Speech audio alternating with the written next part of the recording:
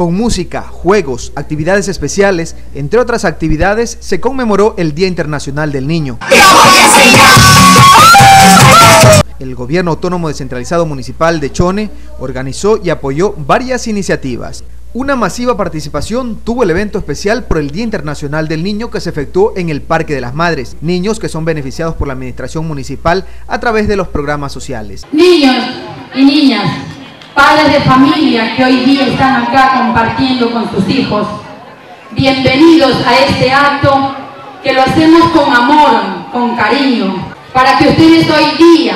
que es ese día especial que se celebra en todo el mundo, como es el Día del Niño, lo disfruten. Bien, lleno de alegría, lleno de felicidad, de que hoy día, pues junto a los niños, podemos festejar este gran día, el Día Internacional de la Niñez,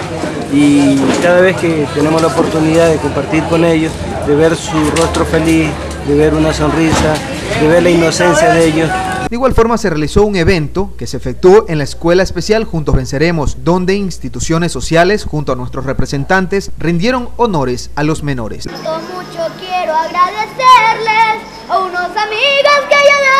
con el alma, aquellos que me han apoyado desde siempre y están conmigo en las buenas y en las malas.